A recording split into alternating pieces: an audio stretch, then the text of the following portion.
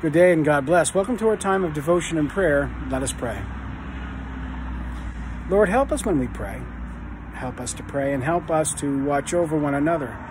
Lord, keep us mindful as you called Cain to be mindful of his brother, especially since he'd done his brother such terrible harm. Lord, help us when we harm one another.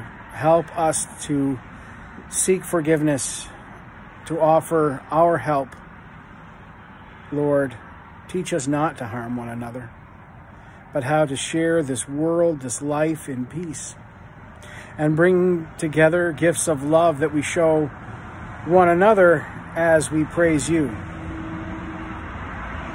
Lord, help those who are very busy, who every time we ask them how they're doing, they say they're very busy.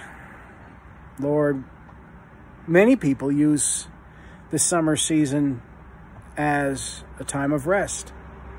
So teach us all what it means to have Sabbath, to pause in our busyness and to proclaim a rest that comes from you. And Lord, help us share your peace as we bring healing and truth into people's lives. Lord, this we pray in Christ Jesus' name. Amen. And today's devotion comes to us from the book of Proverbs, chapter 3, verse 25.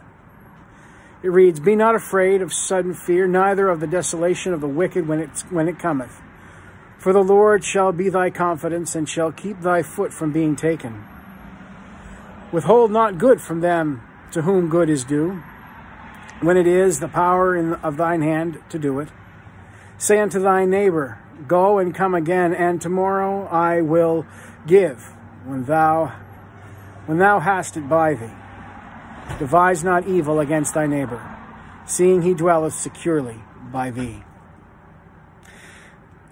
You see, there is a, a responsibility in being a neighbor in more than just having someone to watch over the back fence to see what you're up to.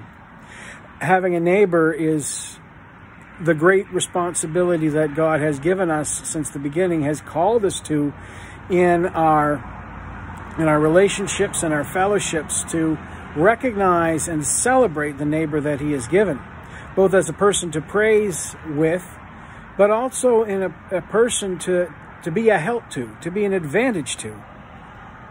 And so the wise words of the, of the Proverbs here remind us not to plan to harm our neighbor, not plan to set ourselves over one another, but to give by virtue of being a neighbor, a chance for freedom, a chance for life exploration, a moment's rest, maybe just the assurance of, I don't know, holding the ladder or trimming that little bit extra along the fence or whatever we do to be neighborly. It is, it is good to do good for those that we have an opportunity to help, to do good for. We need to remember also, though, that as we seek to do good for one another, to remember that our valuation of what is good and what is necessary may not be shared. And as I have often reminded my children, help is help when it's the help that's asked for or the help that's needed. It's easy to give the help that's asked for.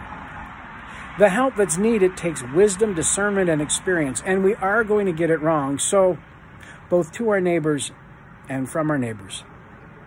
We need to offer and plead for forgiveness because sometimes we're going to give that help poorly or we'll be wrong and it won't be help at all.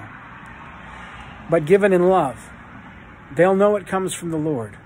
They'll know it comes not just from us, but from the good that we are trying to do.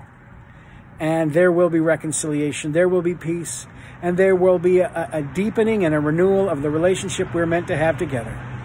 God bless, keep and strengthen you. Amen.